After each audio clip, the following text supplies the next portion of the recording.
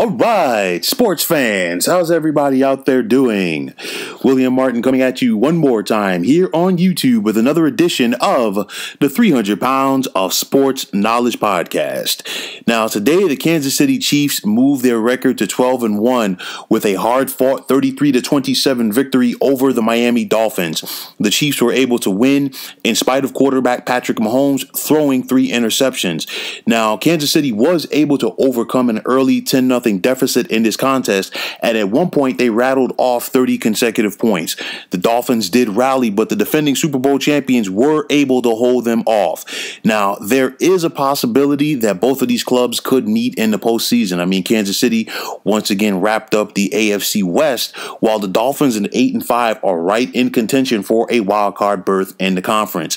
Now, Make no mistake about it. We've seen a, we've seen some close calls for Kansas City this season, but you have to realize and you have to expect they are the litmus test for each team that they face this season. And as the defending champs, you know, basically everybody wants to line you up because they want to be the ones to say, "Hey, they knocked you off." But it's easier said than done. You look at the play calling of Chiefs head coach Andy Reid. You look at how he goes out there and has his team prepared to compete on a Sunday and Sunday out basis. And of course, the play of Patrick Mahomes. And even though Mahomes was not great today, he was great when he had to be. Uh, you look at the situation where late in the contest, where Miami cut the lead to 30 to 24, Mahomes was able to drive them down the field. He then forced the Dolphins to burn their timeouts, and they got a key field goal to kind of distance themselves and get that two point or two possession lead back. And, you know, as long as you have Mahomes and you give him the opportunity to get the ball to the likes of Tyreek Hill, Mecole Hardman, and Travis Kelce at the skill possessions, you know, the Chiefs are going to be tough, be a tough out. Even if you have a lead on them, uh, you know, they're never out of a game. We saw the Houston Texans last season in the playoffs build a 24 to nothing lead on Kansas City, and then Kansas City came back and beat the brakes off of them. And, you know, that scenario has still played out this season. And defensively for the Chiefs, they still have playmakers. You look look at how Chris Jones is getting off the ball on that defensive line. You know, you still have Tyrann Mathieu back in that secondary. And this defense knows that, you know, they can go out there and make plays. And they know that they're going to give up some points. But the bottom line is you just got to make a couple of big plays. And more importantly, you get those turnovers or you get those key stops, you're going to get, the ball back to Patrick Mahomes. And if you give the ball back to Patrick Mahomes, he's going to go out there and score points. So Kansas City's looking at 12 and 1 right now. Their only competition for the top spot in the AFC is the Steelers. Of course, the Steelers uh, play tonight on the road versus the Buffalo Bills, which will not be an easy game.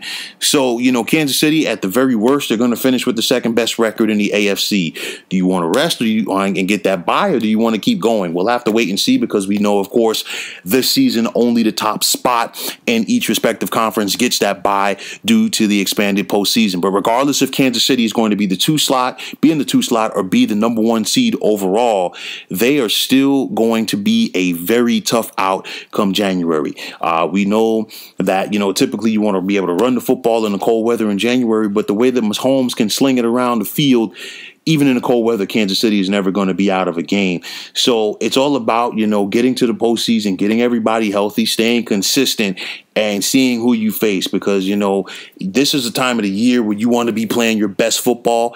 Kansas City has been doing that for the most part all season long. They've taken everybody's best punch. They lost to the Raiders earlier this season. They came back and avenged that loss. We've seen them in some close games uh, throughout this season. Today was another close one. But make no mistake about it, these Chiefs, they returned to the scene of the crime today where they won their Super Bowl championship back in February and they are looking to get back to Florida, this time Northern Florida, or pardon me, Western Florida in Tampa Bay, and repeat as Super Bowl champions. So, like I said, they took the best shot of the Dolphins today. They're going to finish out the uh, regular season on a high note, and they wanted to keep that momentum going in the January and possibly even February in the Super Bowl. So, folks, that is going to wrap it up. And as always, I want to take this time out to thank you for tuning into the 300 Pounds of Sports Knowledge podcast. Want to thank all of the subscribers out there. And if you have not already, please feel free to subscribe to this channel. Now, if you're on Twitter, please feel free to follow me at 300 pounds of sports. And like I always say, if you follow me, it'll be my pleasure to follow you right back. There's also the sports discussion group on Facebook at the Sports Depot 365.